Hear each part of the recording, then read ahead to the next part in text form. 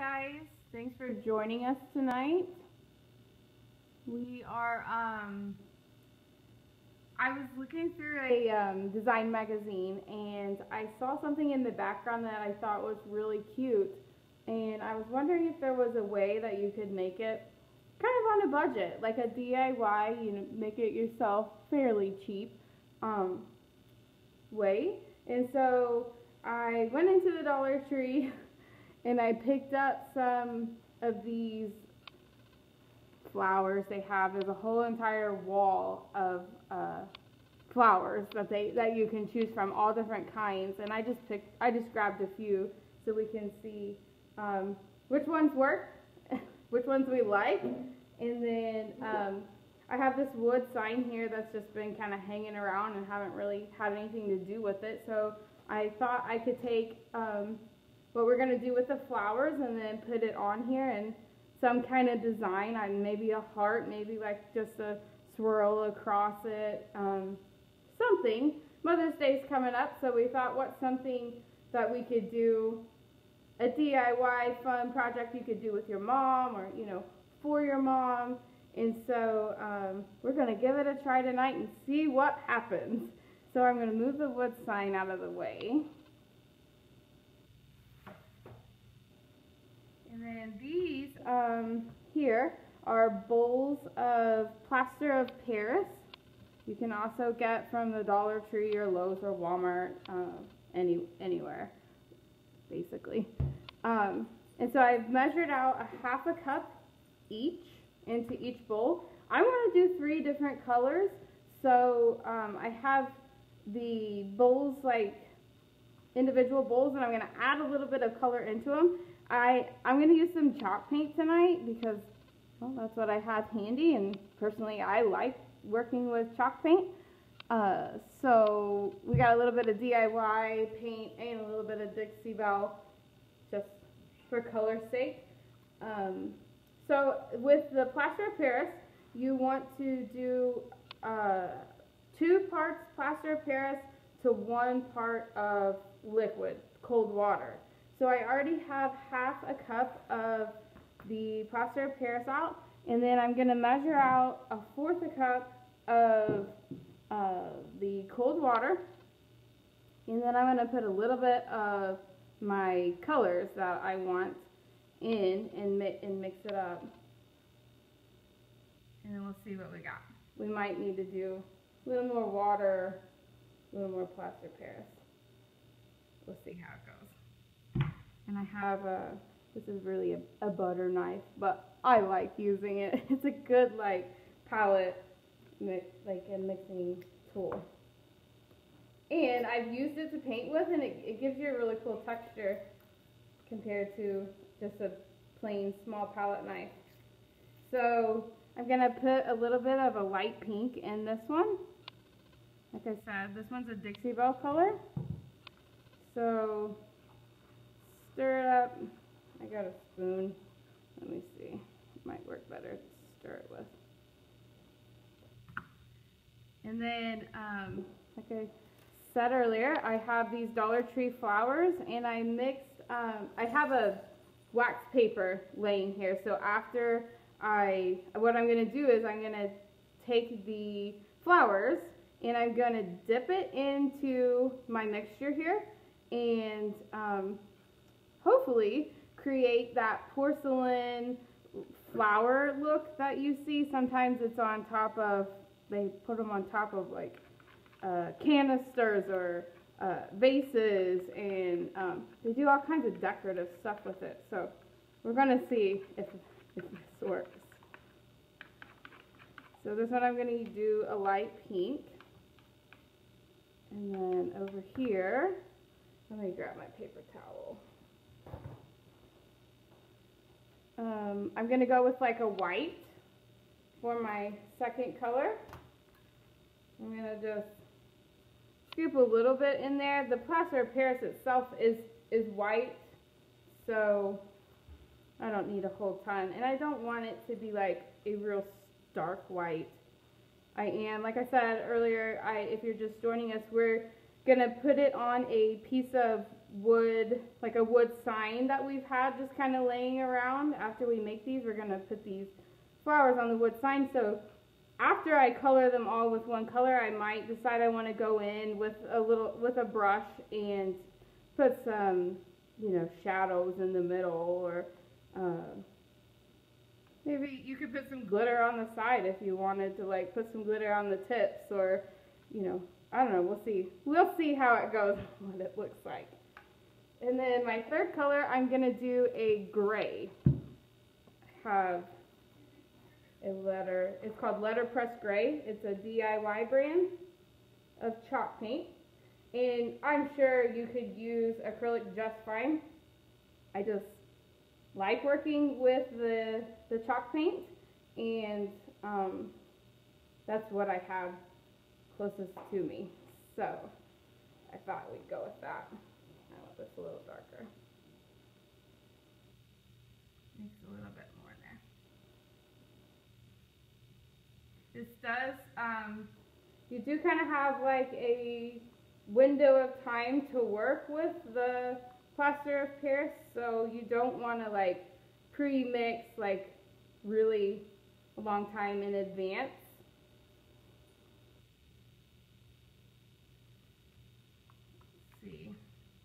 We'll go with this gray. I am going to put it on a darker background uh, of the wood. So I just want a little bit of difference. I'm going to add a little bit more. All right. So now I'm going to go back to my pink and stir it up a little bit more. I think some of these down here on the end, I'm going to add a little bit more water just to make them a little bit more fluid and liquid. So I'm going to take um, one of my Dollar Tree flower bunches that I got, and I'm going to cut the, the stem um, maybe like right about here. Or not. Okay. Doesn't quite cut as easy as you thought? nope. Well, those are bad scissors, so that would have been helpful. So I'm going to take the flower, and then I'm going to dip it down into what would be the plaster. And I did get colored flowers. Um, so that's going to show through a little bit, but that's okay because I do intend on putting a little bit of hand um, painting touches on the top. I like to use my finger with just about everything I make. So um, I'm just going to kind of make sure that it spreads out some and gets, no, I don't want it too clumped up. It is a mess. But I do want most make sure most of this gets some pink paint on it. And you can kind of just let it drip off, shake it a little bit. It does make a mess, so don't do it like in a place you don't want. Um, so here's kind of what it looks like after I pulled it out. Take a little closer to the camera. Can't, is it too far? You see? there we go. I'm a little bit taller than she is, so I can see the camera above. So, this is flattering. So I'm going to go ahead and um, draw, I'm going to leave it over here on my, it's, uh, it's going to make this flower kind of harden up a little bit.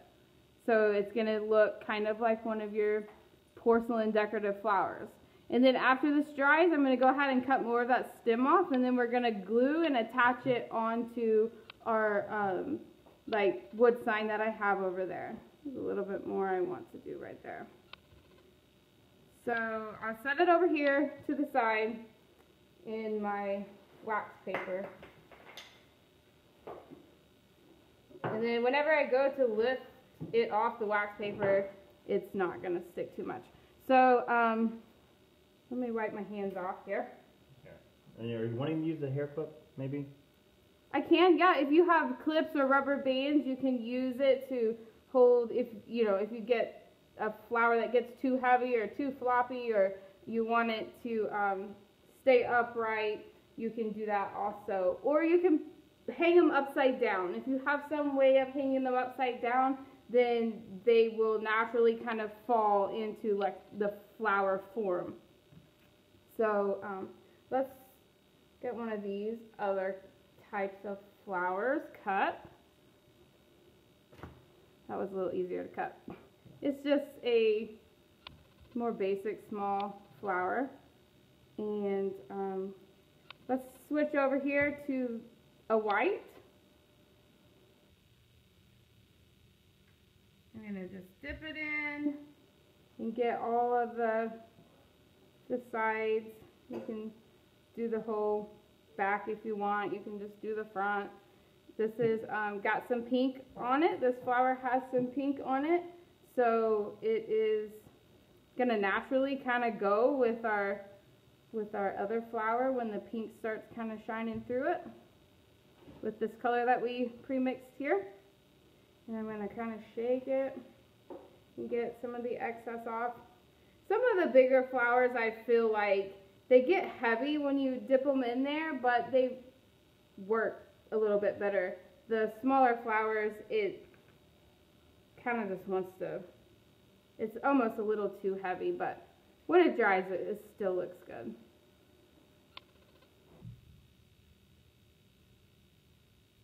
If you guys have any questions, feel free to type them in in the bottom. Let us know where you're from, who you are, what you like. If you use a chalk paint brand, let us know. Yeah, if you've used chalk paint, what brand do you like to use? We like to use uh, Dixie Belle. Uh, this comes out of Florida, and then we also like the DIY Mhm. paint. Yep. They have they have a lot of different colors. Um, we we like them we like them all really. All right, let's um, switch over and do a gray one now. Let's let's do one of these little red roses.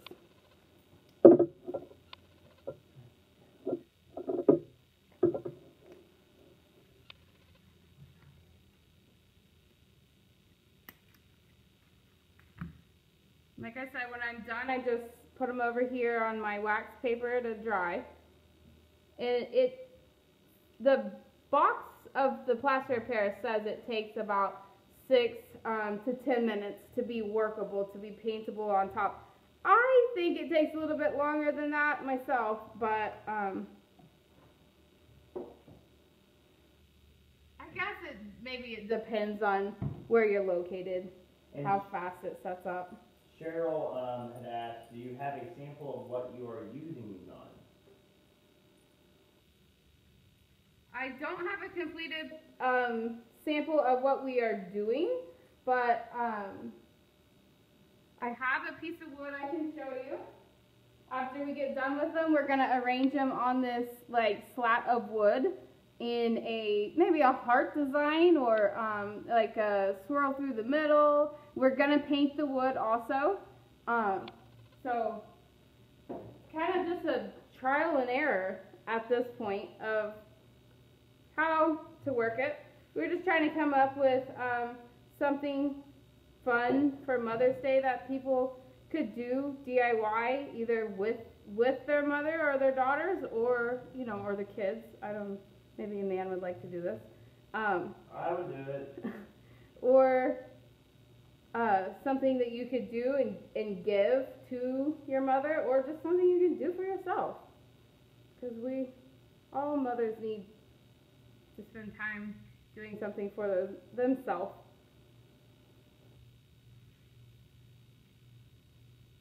I colored the plaster with my chalk paint. Um, I have a Dixie Belle brand that I use and then a DIY brand that I use. You can just use regular acrylic or you can just use the plaster and go back and hand paint the um, the, the flower afterwards. You'll, you'll just have like a plain white plastered flower to begin with. And then you can go in and hand paint all of the little, you know, spots that you want to get. I I like the look of the the bottom of the flower coming through some.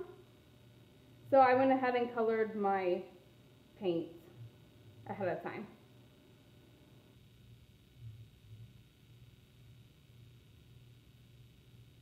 Then here's like a closer look. You can kind of see some of the original flower colors coming through. It kind of gives you a natural like shadow look down in there. I'm not going to cover every bit of this one up because I like that look and it goes with my gray and my pinks and my whites. Um, and then I am going to color the board.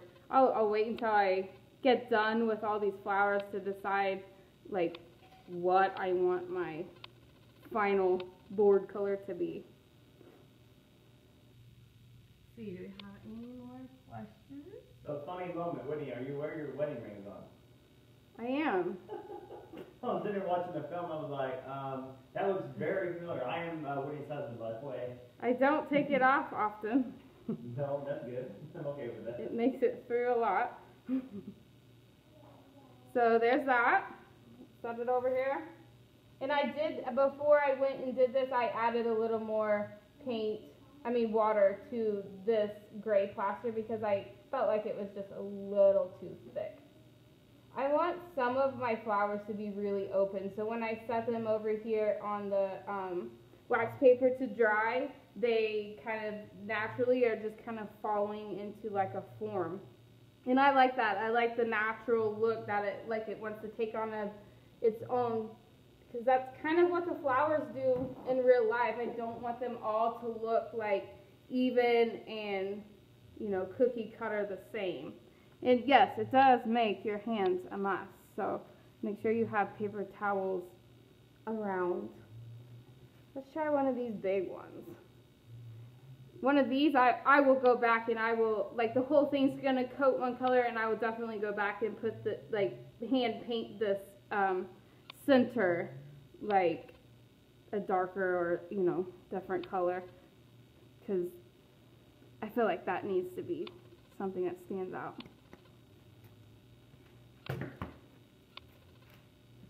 All right. And if you want to brush on the, let's try that. Let me get a brush here. If you want to just brush on instead of dip that, you could do that also. Let's go with, let's go with a pink.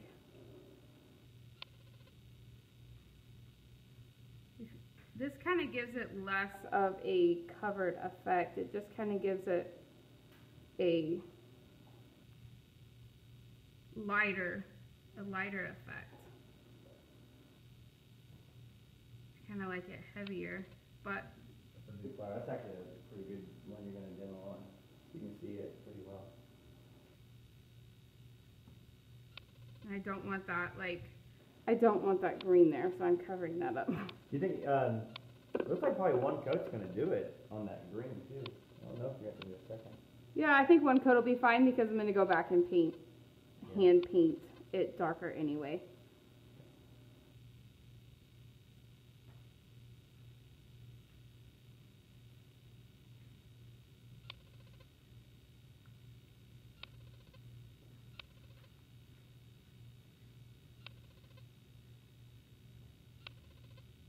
And leave this one just lightly texture paint, like plastered, I guess, what you would call it. see, do we have any more questions? No? So this is something where we are looking at putting on the calendar for um, in May for Mother's Day. If it's something that you would like to attend in the studio with a group of people, we would love for you to come join us. Bring your friends, bring your family. Um, have a good, a good fun time. But if you can't, if you're not close, or if you don't, uh, it doesn't fall into your time of availability, then we would love for you to post a picture, let us know, email, send us um, your masterpiece if you try this out. Like I said, you can do this and put these, we're going to put it on a wood board, but you can put it on um, canisters, you can put it on all kinds of different things. Canvas, we do a lot of, we do a lot of canvas. in the um, in the studio. This is taking a little bit longer with the brush. But if you're more detailed, um, precise, then I have a feeling this would be the way that you would like to go. So there's our big flower. Like I said, I'm going to come back on this one and I'm going to do some hand painting, hand brushing once it's all dry. And the box does say that it only takes um, 6 to 10 minutes to be workable. I don't find that to be enough time, but um, I guess I guess it, always changes. I'm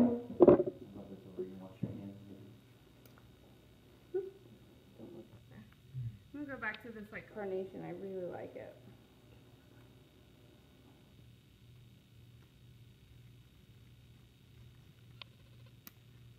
Let's see, do we have any more questions? No? If you haven't put uh, where you're from yet, we would love to see um, where people are from as they're watching. We're uh, living, we currently are in Florida, but we're originally from Oklahoma, so we always like to see kind of where everyone's from. Yeah, there's a lot of people here in Florida that came from somewhere else. Sorry So we love to always hear about you guys.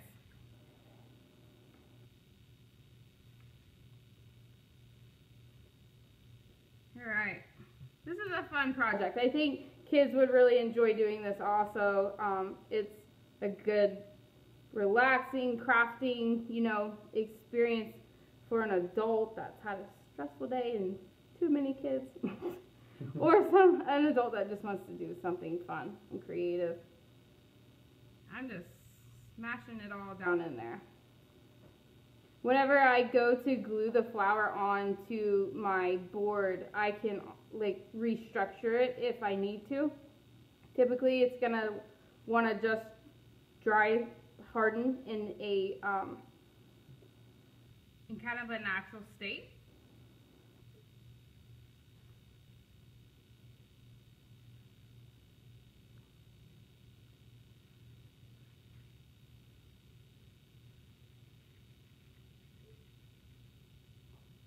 All right. So here's a little bit closer look.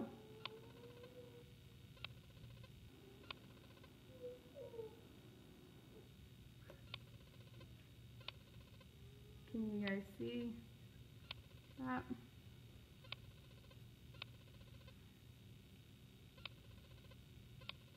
So this is gonna take a while to dry um, before I go put it on a board. I don't, I'm gonna paint my board first before I attach it to the board. So tonight I'm just gonna work on plastering my my flowers and getting them to harden and stiffen up. And then um, I will do a second live in the future um, of how to attach them to the board. Let me wash my hands for a second.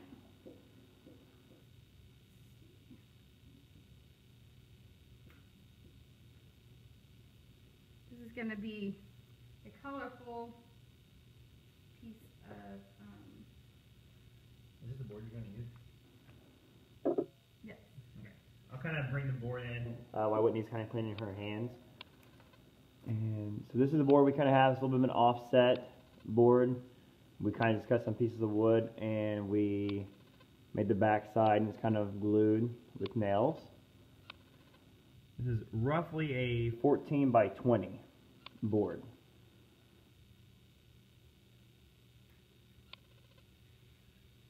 We got Melissa from Lakewood Ranch. Yeah, she's at Lakewood Ranch checking in. yeah. We currently have a three-year-old who will not go to sleep either. All right. So I'm gonna go in with a white and get like a white and a yellow, and then I think I might do another one of these yellows with the gray.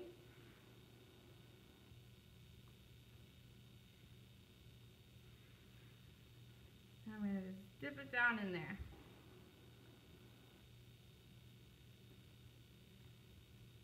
It's messy. It's a messy project. Our daughter currently has one of the flowers and she's sitting there playing with it in her fingers thinking that she's painting it. And she's also shaking the table a little bit. Come on, you need to come back over here.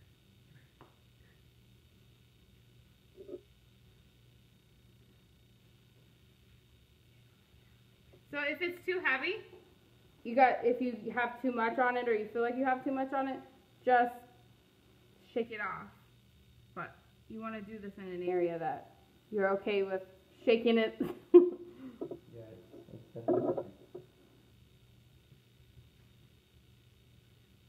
this one is a couple. Um, I left them, they're smaller, and I left them all attached to the same main stem because when I go to put them on my board, I'm going to make them more like a larger flower like that. You can see the yellow coming through. Hopefully you guys can see that through the through the camera. It really looks um, really neat in real life.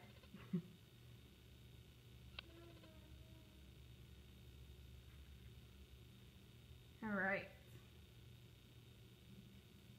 So we'll do one more. We're gonna we'll, let's do another gray one, and then we will um, ahead and pop off of here and um, then we'll come back and do the second part to this project, which will be painting the board and then actually attaching and arranging our plastered Dollar Tree flowers. All in all, this project, um, I used hardly any any paint color. The flowers um, were a dollar each, and I you you can you don't have to get a ton of um, different options. And you maybe only use like what, maybe a couple dollars worth of the plaster of Paris? Oh yeah, the I hardly any. This the entire box is still full basically. Yeah, I think we did like you did what half a cup for each. So you used a cup and a half of right. plaster of Paris, and then. I would say this water. is definitely like an under $20 project easy. And like you can see, I have a lot of plaster out here that, I mean, I'm going to go ahead and coat all of my flowers, but if I was just doing a few, I would have a lot of leftover. And you can get the plaster anywhere. Um, I saw it at the Dollar Tree while I was there. I am using the powdered one. Um, it's a big box it's a powder one where I mix my water in it instead of the um, pre-mixed one that's already like the putty that's already wet. I I mean, I guess you could probably get the putty and add a little bit of water and paint colors to it, but I'm using the um, the dry one. And I feel like it goes further. You get a little bit more out of it for your money. So here's like a, a gray and yellow. I don't want that one to be perfect. See.